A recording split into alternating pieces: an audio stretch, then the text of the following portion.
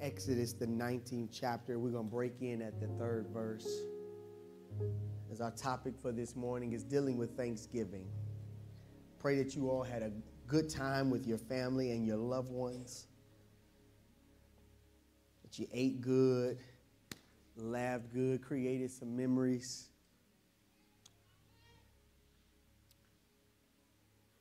I'm grateful for the time I've had with my family. It's only by the grace of God. Exodus, the 19th chapter. If you got to say amen.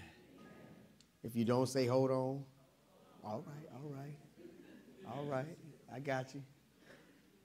Second, second book of the Bible, right after Genesis. I'm, I'm not being I'm not being petty. I wasn't being petty. I'm just trying to help. But I'll be reading from the King James Version, and it reads And Moses went up unto God, and the Lord called unto him out of the mountain, saying, Thus shalt thou say to the house of Jacob, and tell the children of Israel, Ye have seen what I did unto the Egyptians, and how I bare you on eagle's wings, and brought you unto myself.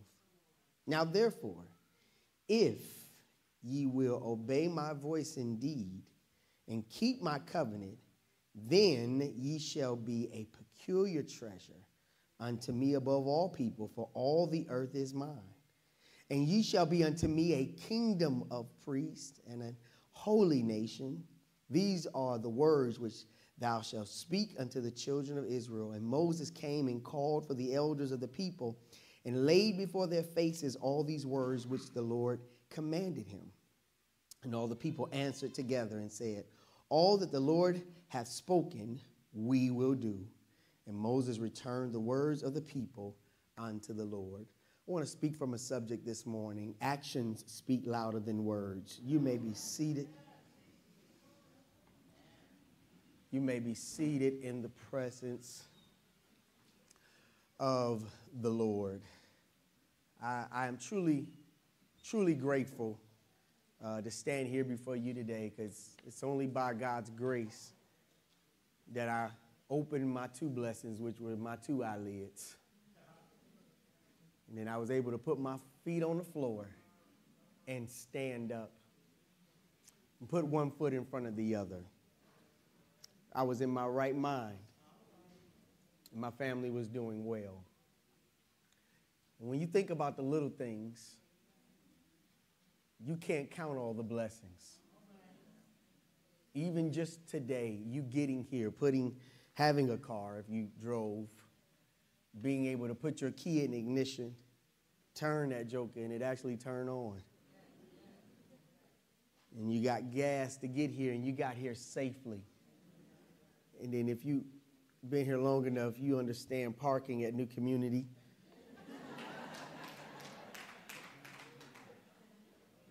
which concerning that area, sometimes I thank God I'm a pastor because you got to have a spot for the preacher close to the door.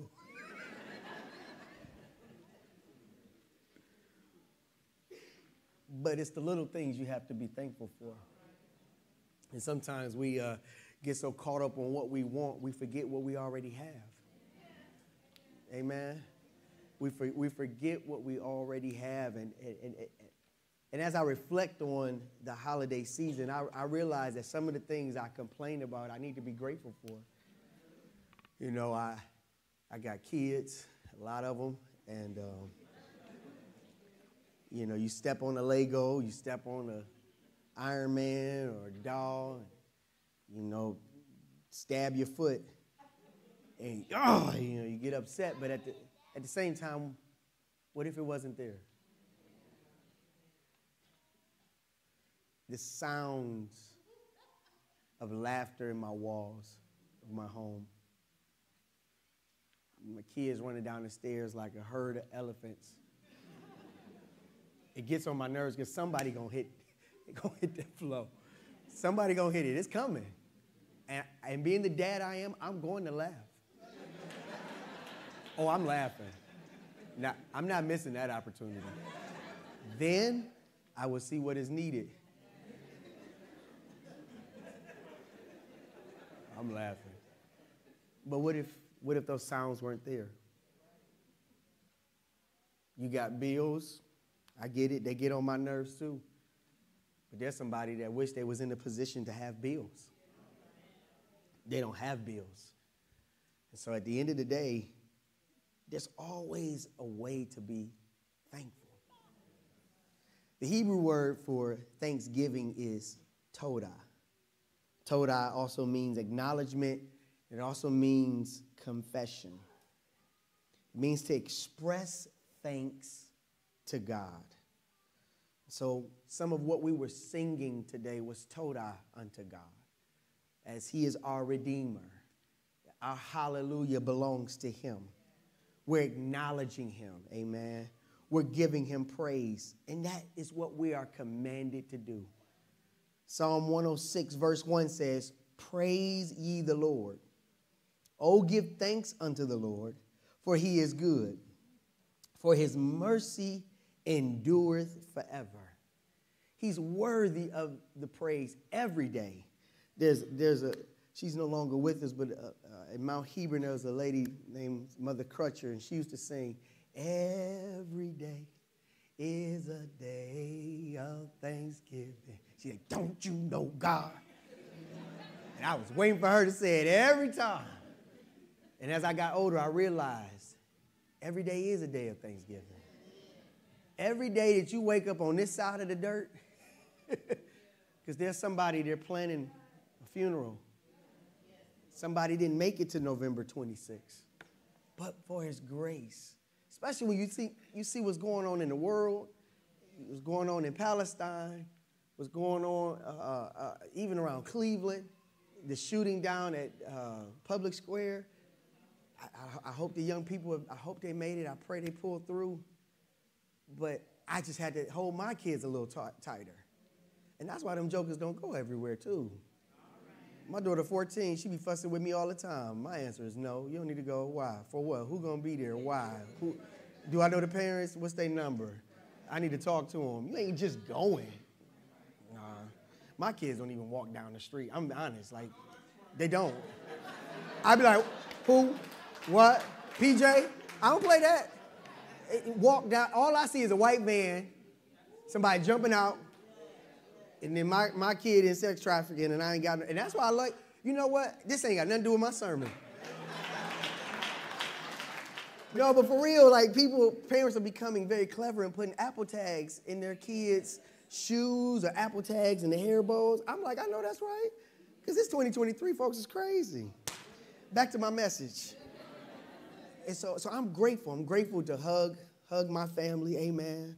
Hug my kids, have them every in everything. First Thessalonians 5:18 says, in everything, give thanks. For this is the will of God in Christ Jesus concerning you. That, that, that means no matter where we find ourselves, if it ain't nothing but that God is still God, in everything give thanks. And why, why is giving thanks so important? One of the reasons giving thanks is so important is because it keeps bitterness at bay. It keeps bitterness out of your heart because you can't be bitter and give thanks. Yeah, you can't do both. You have to be one or the other. Amen. Uh, uh, this this this weekend is, was a challenging weekend for me. My little guy, you know, Jaden, he's battling sickle cell, and we've been blessed because he doesn't have a lot of pain crises. He's not in the hospital a lot. But this weekend, he had to go to the hospital. And um, I, I, just was sitting there, and a little man came up to me. He, he's what I love about Jaden. The only he's only four years old, but he's understanding how to thrive with the disease. And so he knows. He said, "Dad, I need my heating pad." I said, "Okay, we got a heating pad." He said, "It's not doing nothing." I said, "Oh, it's not doing nothing." Okay. He came back. He said, Dad, we need to go to the hospital. I said, just, just wait a little bit. He said, nothing is working.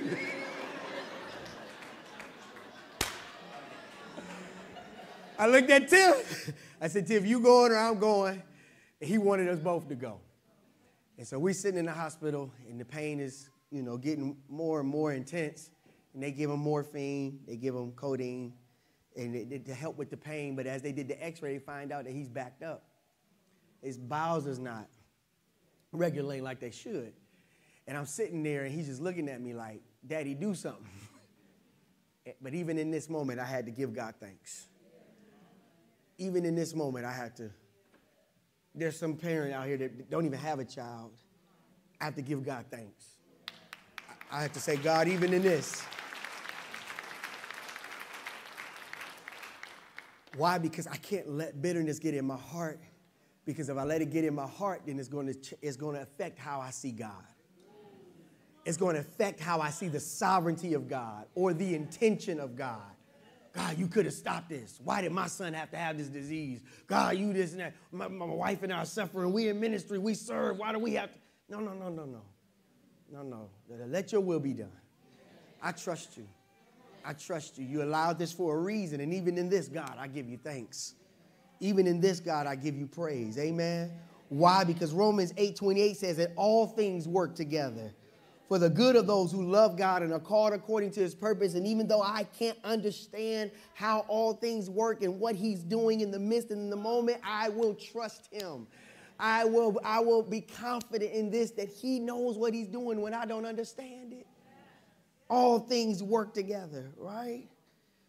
Another reason why it's good to give God praise and to give God thanks is to remind us that everything we have is a gift from God. Everything. Every, I, I, don't care how much money you got. I don't care how, how many degrees you got. What, how, what, I don't care how good your job is and how many people you know. Everything you have is from God. And it becomes a sad commentary when people think they have what they have in and of themselves. You know, there, there's, a, there's, a, there's a phrase that, that, that, that just, I cringe with it because it, it, it comes up against theology for me, and that's self made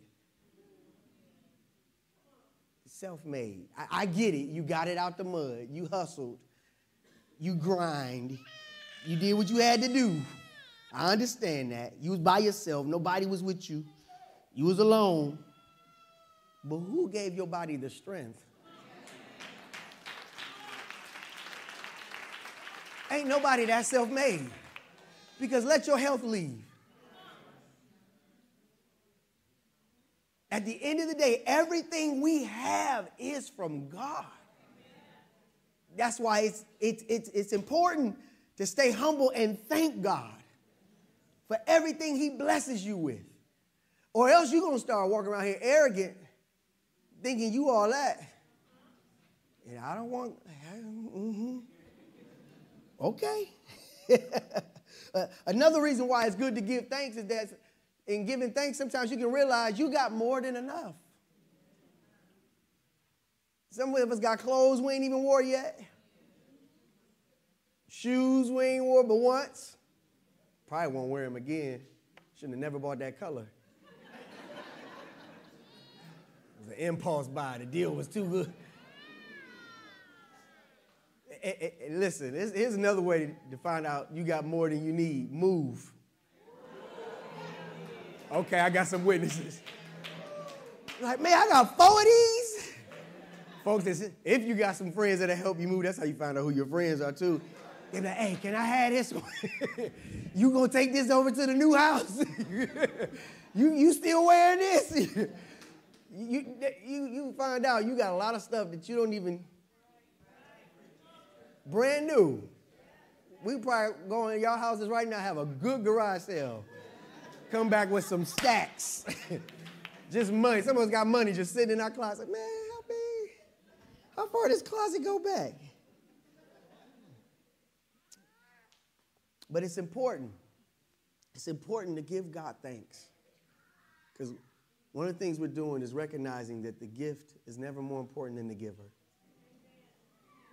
I don't care how much God ever gives us, it's never more important than Him.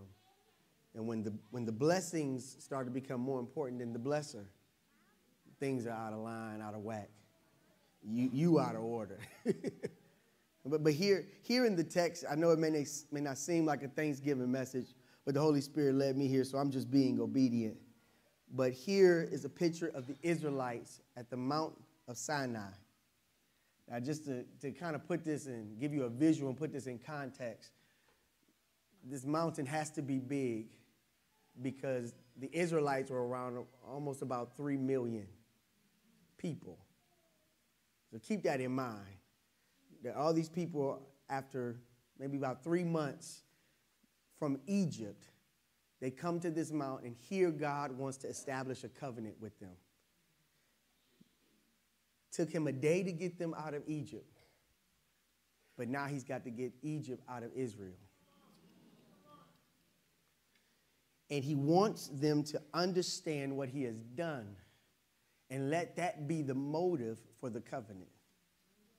And so my first point as we look here at verse verse 4 is to remember. And I know I've kind of said some of that already, but that's okay. But verse 4 he says here, God says to Moses, I need you to tell them, you have seen what I did in Egypt. Mm-hmm.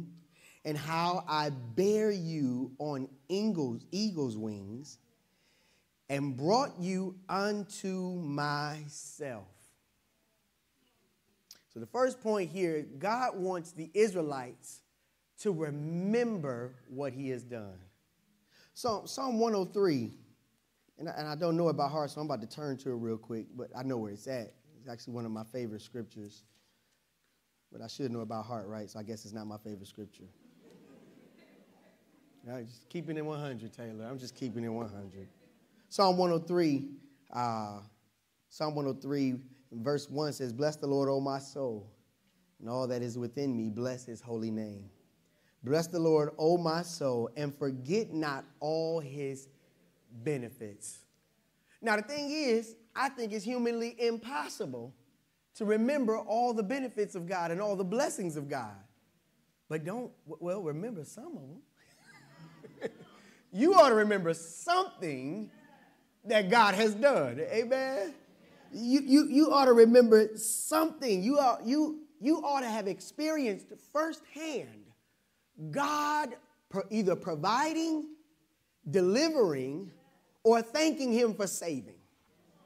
He's either provided, or I can throw another one in there sustained, uh huh, delivered, or you just think about the cross and get happy that He saved you. Either way, it is good to look back. because it can give you a motive for moving forward. Help me, Holy Ghost.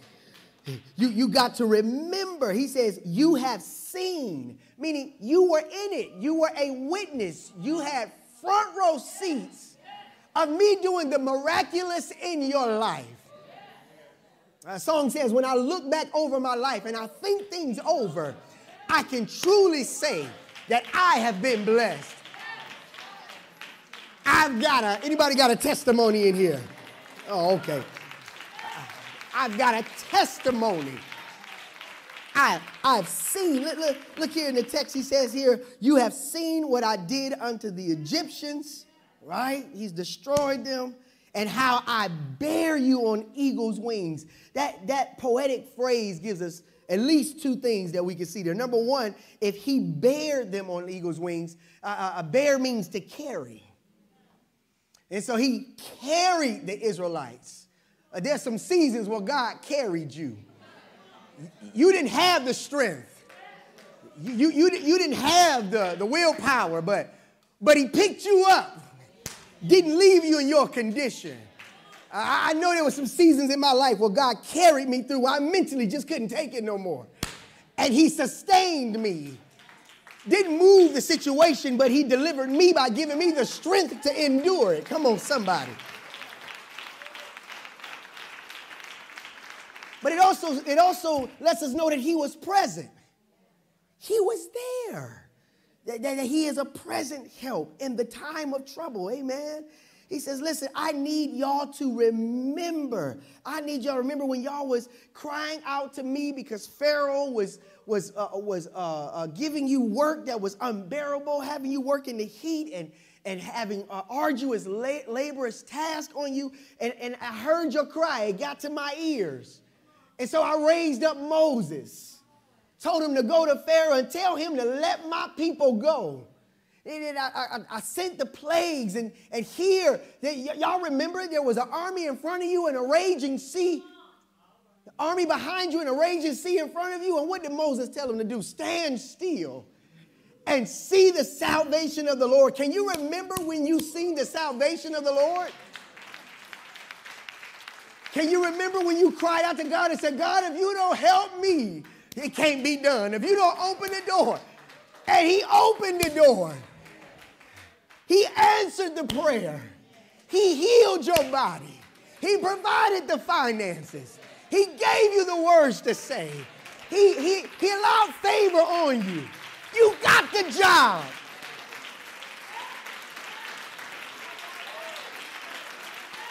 Sound like a, there's been some beneficiaries in the house this morning. We can't forget his benefits. I know a couple of couples that had miscarriages and they said they'll never have children. And now they got a tribe like I got a tribe. God is able.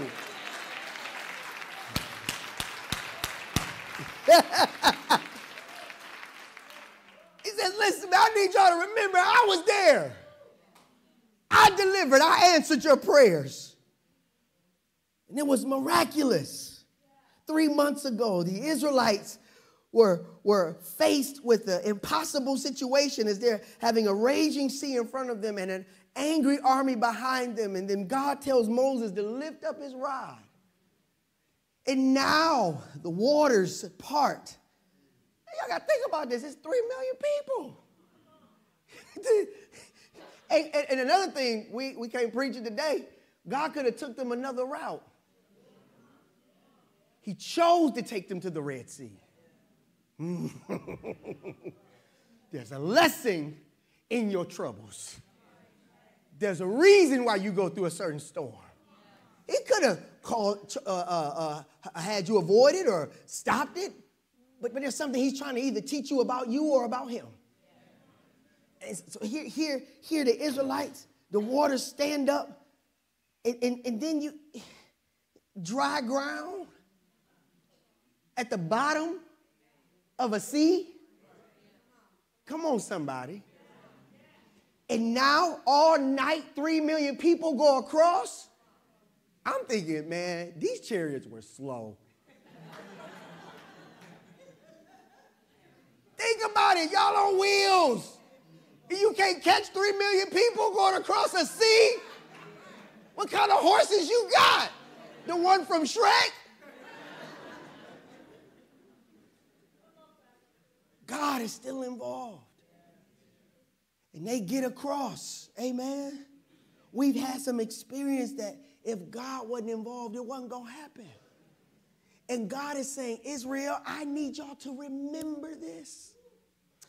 I can't leave verse 4 yet because there's still something very important. He says, You have seen what I did unto the Egyptians and how I bear you on eagle's wings and brought you unto who? Myself. I saved y'all for me. I didn't deliver you so you can just go willy nilly and live how you want to live. I, I protected you for me. I provided a way so that we could be together.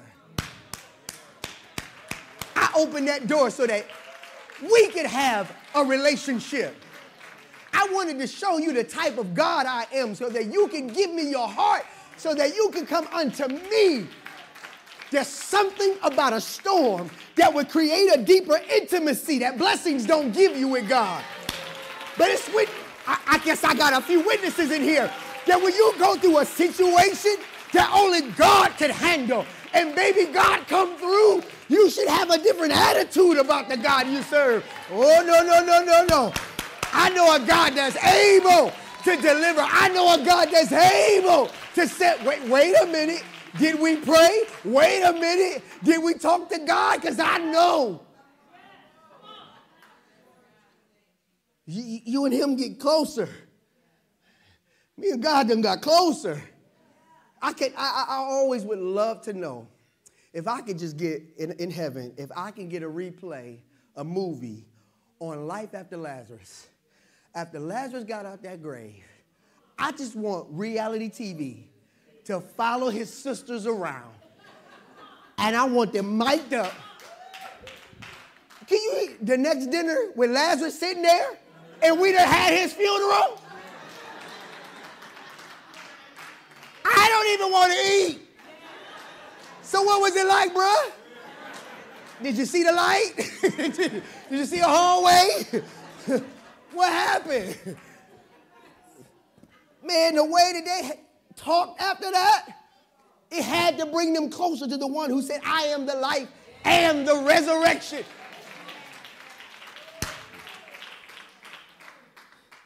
Hopefully, after you've gone through something, huh, you remember you're closer to him. Amen. Verse 5. Verse 5 is where I get the title of this message Action Speaks Louder Than Words. Verse 5. First point is that we have to remember, but verse 5 lets us know we have to respond. After you remember all that God has done, what is the fitting response for a God who has done miracles in your life? Help me preach, Holy Ghost. What is a fitting response for a God who has opened doors that no man can shut and closed doors that no man? What, what is the fitting response? VB3, what's the fitting response for a God who has confused doctors? What, what, what is a fitting response for someone who says, I no longer, no longer need to take medication?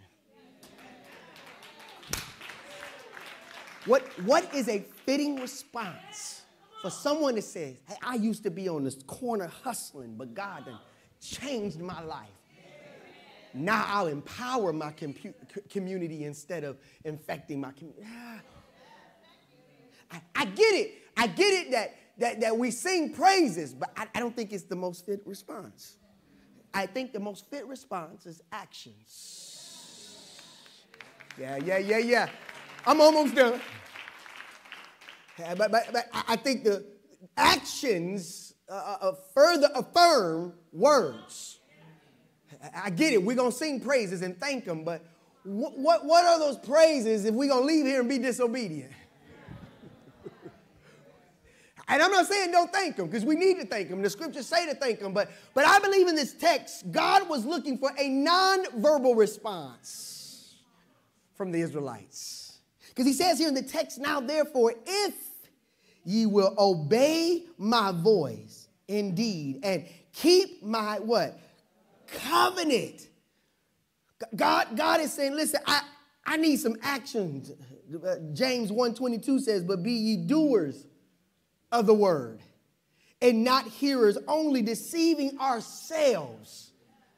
I, this is the really the, my whole message in one sentence. If we really gonna thank them, serve them. If we gonna thank him, submit to him. See, see, it's one thing to tell your spouse you love them. But baby, if them actions don't line up, it starts sounding like blah, blah, blah. And that's how your ex became your ex. Too much of this, not enough action. Or the action didn't line up to the standards that you was going to accept in this relationship. And you had to bow out gracefully. Amen? But one booger came in with the right actions. Not only did they have the words, but they had the actions and you didn't know what to do with yourself, you said, Oh, I ain't never seen one of these before. He bought me flowers. She did this. She did that. He did that. He cooked. And you, you like, ooh, whatever you want, Mr. Right. whatever you want, Mrs. Right. Right, because action, right? Let me, let me tell you, this is when I knew. I think I told the story already, but I'm going to tell it again because I'm the preacher, so you can't stop me. but I was in college Heat got cut off, didn't have no money, right? I'm sitting in the apartment with my, with my roommate. We in our winter coats playing PlayStation.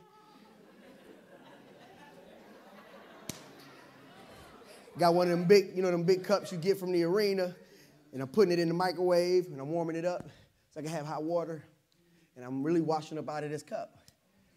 So it was hard times, you know.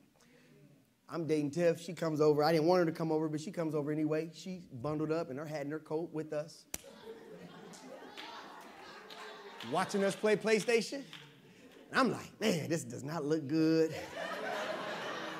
It's, it's not, hey, my, hey, there's her mother right there. Just, just newsflash, this is not my wife. This is her mother. but I saw Tiffany. You did not see Tiffany. She's, she's at the hospital with Jaden. You didn't see Tiffany. But I'm sitting there like, ooh, this don't, this don't look good. She said, hey, let's, let's take a ride to Big Lots. Went to Big Lots, bought a heater, put a towel under the door, plugged the heater up. That's when I knew she loved me.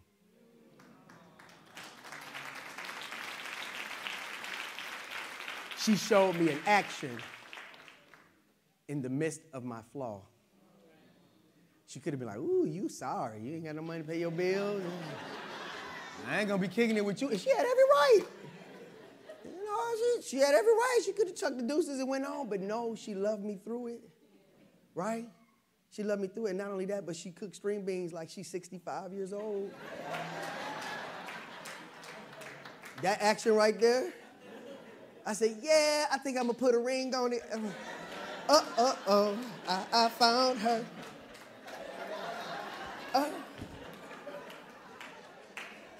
Yeah, that action got me. Bro, that, bro, them string beans be smacking, bro. Sometimes I ask her just to cook string beans, nothing else, just cook string beans. So her actions, her actions is what showed me she loved me. What do our actions say, right? Now, no, we're not Israelites at the, mount, at the foot of Mount Sinai, right? But there's a Todah that we can lift up non-verbally by being ye separate and coming from amongst them. Mm, there's a thank, thanksgiving we can, we, can, we, can, we can express by being holy because he is holy. By denying ourselves daily and taking up our cross. Huh? By counting it all joy when you fall into diverse temptation Huh? The new commandment I give you that ye love one another as I had loved you. Uh oh. That means I love without preferences. So I'm going to love the unlovable. You get on my nerves, but because of what God did for me, I'm going to love you anyway. Thank you, God. That's my thank you. Huh? Pray for those who persecute you. Forgive those as God has forgiven you. That's how we say thank you by daily submitting to God. And to me, that carries more weight than just a song. I could be wrong. But it's the life we live when we leave here that says, I appreciate the doors you've opened. I appreciate the blessings you blessed me with. I appreciate, and I'm going to show you by every day I get up, God. I'm submitted to you. I'm surrendered to your will. Whatever you desire me, God, even if I don't understand it, I trust you, God. If I don't know where to go, I'll seek you for the way to go. When I feel tired, I'm going to ask for strength to go through. I ain't going to quit on you, God. Here I am, Lord. I am your vessel, a living sacrifice. To me, that's how you say thank you to a God who gave his only son on the cross and then continues to bless you every day. I was like, this like, man. He was looking for a response, but one of obedience. And it was conditional. Like, you got to think about it. He says, Now therefore, if ye will obey my voice. He was, even though he's God, and he could have been like, This is what you'll do, he was giving them options.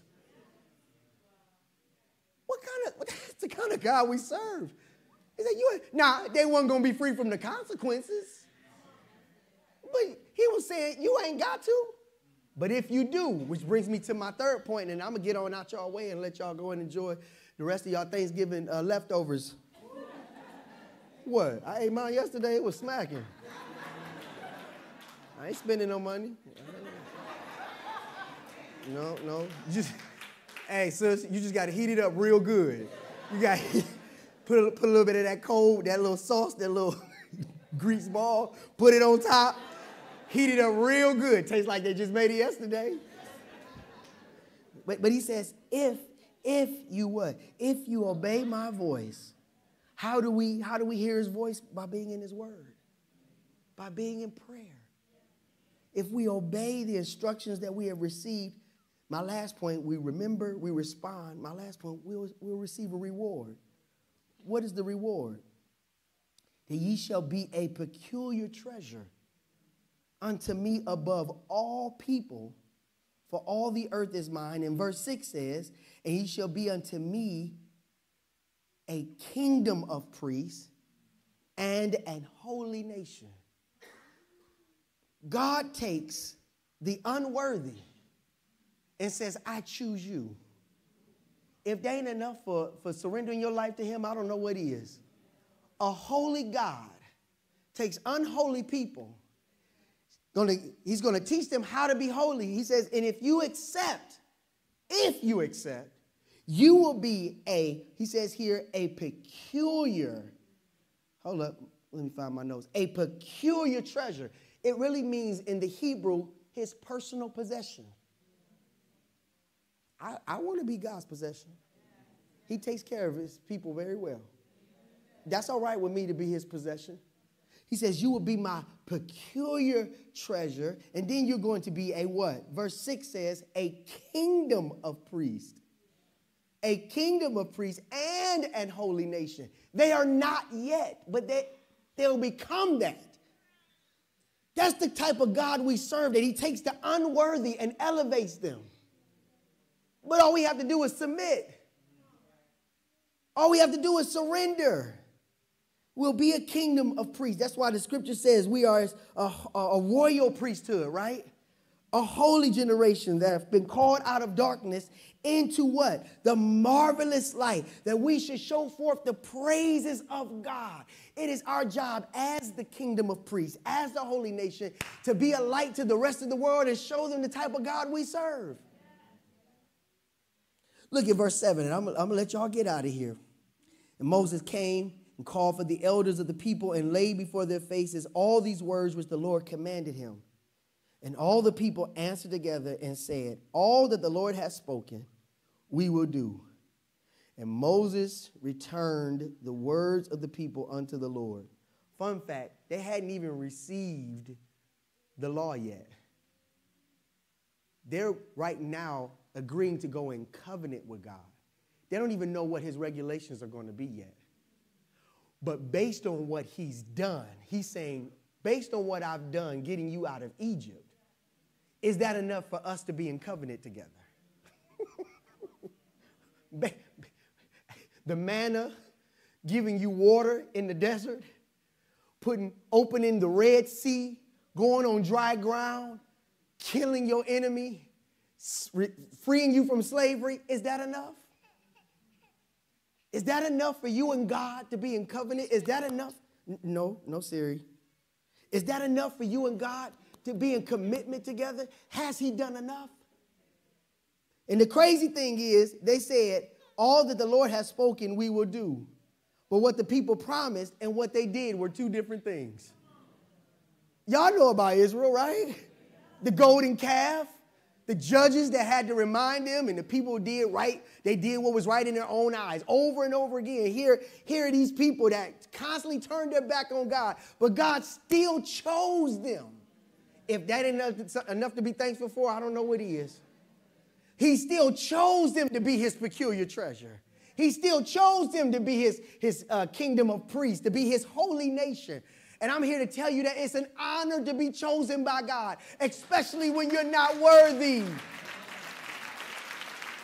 It's an honor to be called his son. It's an honor to be called his daughter. And I know ministry get hard, but it's still an honor to serve unto God. I don't deserve to be standing here before y'all this morning. Ain't nothing I did that deserve that I deserve to stand here and preach this message. I ain't that holy. I ain't that righteous but it's only by His grace and His mercy.